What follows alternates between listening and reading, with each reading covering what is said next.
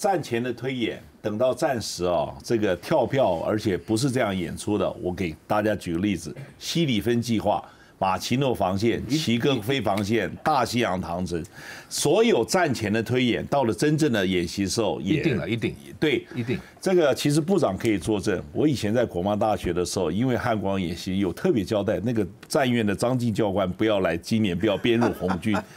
你知道吗？不同人的推演会推出的不同人，当然，所以呢，这个后来就你变成红就红就赢了，意思这样是吧？对，而且我我被大家公认是，就是说我的思维最像解放军，而且演习最真。但是对不起，今年千万不要找来。去年他想的那个点子 真的很难搞，所以完全有很多时候确实是会这种。好吧，我们下次这边如果办一个这个 军兵推的话，就你就办红军，因为我是听说我们以前台湾办兵 推都是。蓝军营都是国军营，老共都是那是我没去啊，好吧，部长可以作证的，好吧？哎，大大使，对，其实其实我们要看广一点哈，就是说这一场这个台海的这个哈军演，其实说穿了这是哈是一场美国跟中国大陆大陆针对美方的一场大国博弈，那么他是要借着这一次哈这个实质公开。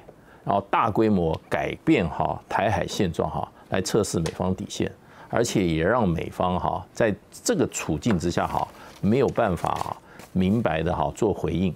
那事实上，我看了蔡英文的这整个整个的这个说话哈，他的最重点我我讲就是说，他说我方不会升高冲突，不会挑起争端。哎，奇怪了，现在军演是在台湾门口啊。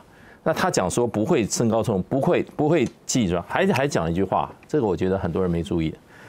我们致力维护两岸现状，对建设性的对话也维持开放的态度。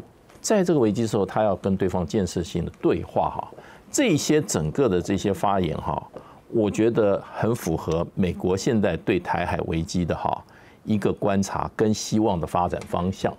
那在美国很多，那你们两岸会有建设性对话吗？这是一个，这是一个对最最大对大岸的对岸的喊喊话啊，这是已经很清楚喊过很多次了。对，没有前提之下，我们都可以谈啊。可是这是在我们受到极大压力之下提的。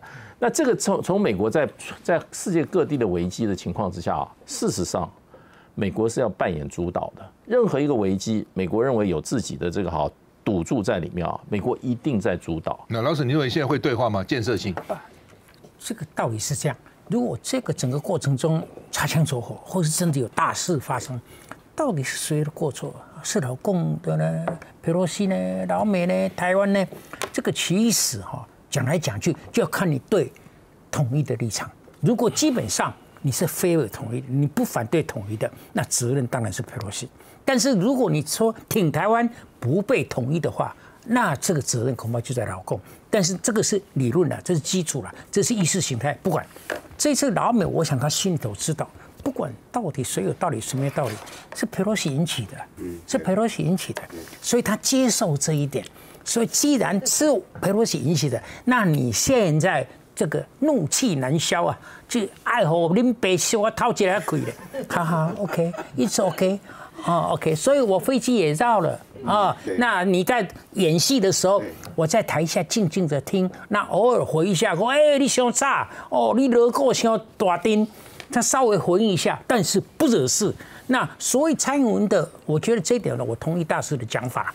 大这个大这个蔡英文这次的讲话的内容跟他的定调，当然是传递美国方面的定调，因为他就是。现在只说你不可以这样，你不可以那样，你不可以这样，这个是理所当然啊。这个我我今天的节目里头，我第一次同意你们的讲法。请支持 TVBS 国际 Plus 全新频道，让您扩大视野，掌握趋势，接轨全世界。恳请订阅，开启小铃铛。